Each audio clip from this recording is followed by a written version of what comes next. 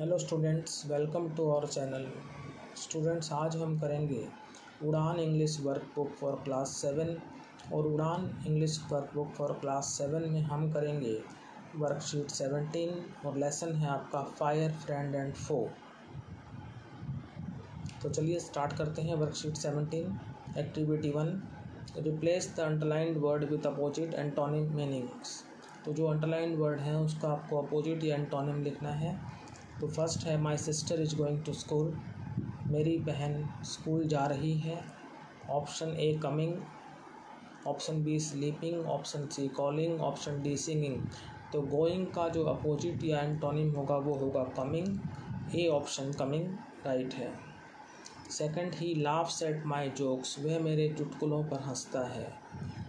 Options हैं A weeps B sleeps C angry D help तो laughs का मतलब हंसना और अपोजिट हो जाएगा रोना यानी बीप्स तो ए ऑप्शन बीप्स जो है वो राइट है। अब थर्ड है the day was cold and dark दिन जो था वो ठंडा था और डार्क था। तो इसका अपोजिट घूमना है आपको। A rain B night C soft और डी बीटर तो डे का अपोजिट हो जाएगा नाइट तो यहाँ पर बी ऑप्शन जो है राइट है तो इसका हो जाएगा the night was cold and dark. B option night is right. अब है fourth one, the math test was very difficult. Option A sharp, option B hard, option C easy, option D better. Maths का test बहुत difficult था, यानी कठिन था तो difficult का अपोजिट हो जाएगा ईजी। ऑप्शन सी करेक्ट है। फिफ्थ है आई लाइक कोल्ड ड्रिंक्स मुझे कोल्ड ड्रिंक्स पसंद है तो option A slow option B hot option C dry option D short तो कोल्ड का जो अपोजिट हो जाएगा हॉट तो बी ऑप्शन राइट है। सिक्स में है Shalu lost her pen yesterday Shalu ने अपना पेन कल खो दिया। Option A found option B spoil option C close option D break तो लॉस्ट का अपोजिट होगा फाउंड तो ए ऑप्शन फाउंड राइट है। सेवेंथ है the fat cat could not run fast A thin B black C happy D sad तो fat का opposite हो जाएगा थिन एट्थ है my teacher was happy to see me मेरा teacher यानी मेरी, मेरा अध्यापक मुझे देखकर प्रसन्न हुआ। तो A sad B surprise C glad और डी काम तो हैप्पी का अपोजिट होगा सैड यानी उदास. सैड का मीनिंग होता है उदास और हैप्पी का मतलब होता है प्रसन्न. तो यहाँ पर हमने जो है अपोजिट वर्ड्स किए. अब चलते हैं हम एक्टिविटी टू पर. एक्टिविटी टू फ़र्स्ट है write down the word that has the opposite meaning box में दे रखे हैं cold small bad fast full old short false friend तो फ़र्स्ट में आपको हॉट दे रखा है तो इसका अपोजिट हो जाएगा कोल्ड सेकंड में बिग दे रखा है तो इसका अपोजिट हो जाएगा स्मॉल थर्ड में स्लो दे रखा है तो इसका अपोजिट हो जाएगा फास्ट फोर्थ में हैप्पी दे रखा है, इसका अपोजिट हो जाएगा सैड फिफ्थ में न्यू दे रखा है, इसका अपोजिट हो जाएगा ओल्ड सिक्स में एम दे रखा है, इसका अपोजिट हो जाएगा फुल सेवेंथ में फास्ट दे रखा है, इसका अपोजिट हो जाएगा स्लो एट्थ में टॉल दे रखा है, इसका अपोजिट हो जाएगा शॉर्ट नाइन्थ में ट्रू दे रखा है, इसका अपोजिट हो जाएगा फॉल्स और टेंथ में एनिमी दे रखा है, इसका अपोजिट हो जाएगा फ्रेंड तो अभी हमने जो भी लिखे हैं, वो सारे अपोजिट मीनिंग लिखे हैं। एक बार मैं सभी को रीड कर देता हूँ। Cold hot small big fast slow sad happy old new full empty slow fast short tall false true friend enemy ये सारे जो हैं अपोजिट मीनिंग हैं। अब चलते हैं हम सेकंड पर।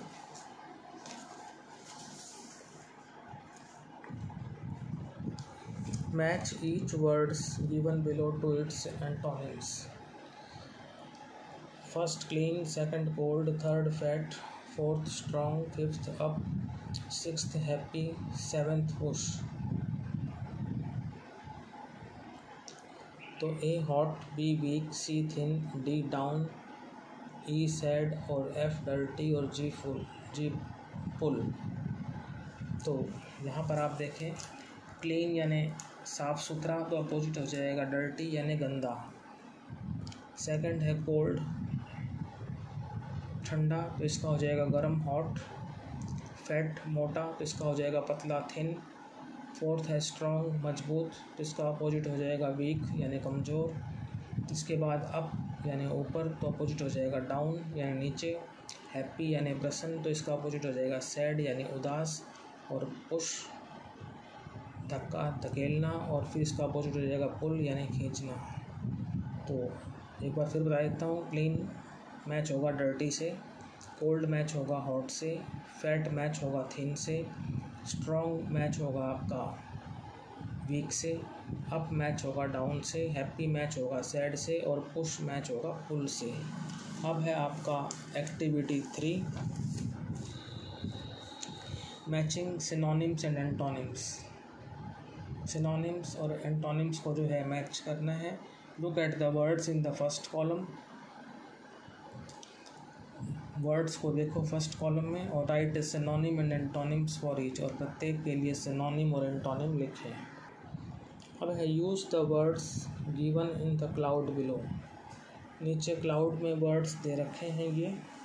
इनको यूज़ करना है और वो भरने हैं सिनोनिम्स और एंटोनिम्स के कॉलम में। ये आपको वर्ड गिवन है old tiny and glum edgy big ये फ़र्स्ट कॉलम में जो वर्ड गिवन हैं, इनके आपको सिनोनिम्स और एंटोनिम्स लिखने हैं और वो सिनोनिम्स और एंटोनिम्स आपको यहाँ मिलेंगे क्लाउड में। तो यहीं से मैंने लिखे हैं।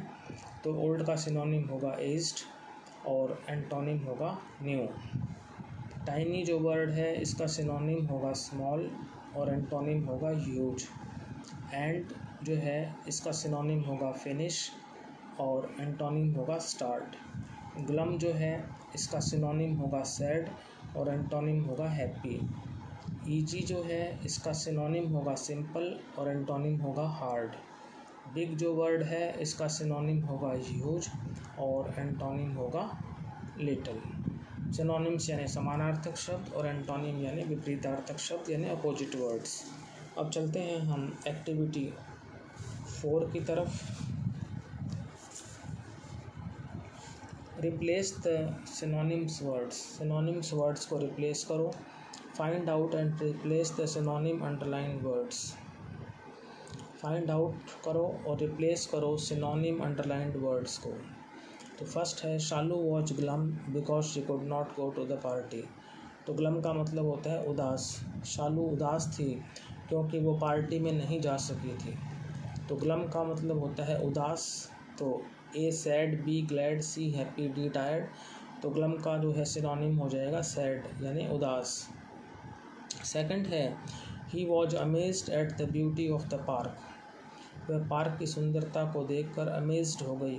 मीन्स एक किस्म से इसको हैरान भी कह सकते हैं और प्रसन्न भी कह सकते हैं। वैसे यहाँ पर हैरान ही होता है। तो A pleased B disappointed C sad और डी डिप्रेस्ड तो ये मैच हो रहा है प्लीज्ड से। तो सिनोनिम हम ये मानेंगे अमेज्ड का प्लीज्ड क्योंकि इसमें डिसअपॉइंटेड निराश की कोई बात नहीं है सैड उदास की कोई बात नहीं है डिप्रेस्ड परेशानी की कोई बात नहीं है। तो हताशा की कोई बात नहीं है यहाँ पर। तो यहाँ पर प्लेस्ड आएगा। ए ऑप्शन राइट है। थर्ड है the castle looked enormous in the background castle होता है किला। और बैकग्राउंड यानी पार्श्वभूमि में वो विशाल दिखाई देता था enormous A very big B slow C mixed up और डी मूव तो वेरी बिग यहाँ पर होगा बहुत विशाल। तो एनॉर्मस का यहाँ पर सिनोनिम होगा वेरी बिग फोर्थ है my brother is screaming in the class मेरा जो भाई है वो क्लास में स्क्रीम कर रहा है, चीख रहा है तो A shouting B afraid C sleeping और डी हैप्पी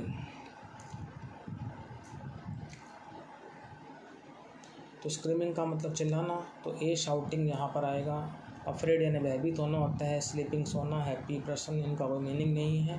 तो स्क्रीमिंग का जो सिमिलर मीनिंग है, वो है शाउटिंग। अब है meet the synonym draw a line to connect the words on the left with their synonyms अब यहाँ पर जो है, हमें सिनोनिम्स को मैच करना है आपस में। तो नीट का मतलब साफ़ सुथरा। तो ये मैच होगा क्लीन से। क्लीन का मीनिंग भी साफ़ सुथरा होता है। प्रिटी यानी सुंदर। तो ये ब्यूटीफुल भी सुंदर होता है तो प्रिटी मैच होगा। ब्यूटीफुल से लार्ज का मतलब होता है विशाल तो ये मैच होगा। यूज़ से यूज़ का मतलब भी विशाल होता है। सिंपल यानी साधारण, सरल तो ये इजी आसान से मैच होगा। और सिक यानी बीमार तो ये इल से मैच होगा। इल का मतलब बीमार होता है। क्राई रोना तो ये मैच होगा। वीप से वीप का मतलब भी होता है रोना। तो neat clean pretty beautiful large, huge, simple, easy, sick, ill और क्राई वीप तो ये हमने जो है, लाइन को ड्रॉ कर लिया है ताकि हम सिनोनिम्स को जो है कनेक्ट कर सकें। तो स्टूडेंट्स यदि आपको ये वीडियो अच्छा लगा है तो आप इस वीडियो को लाइक करें शेयर करें चैनल को सब्सक्राइब करें। Thank you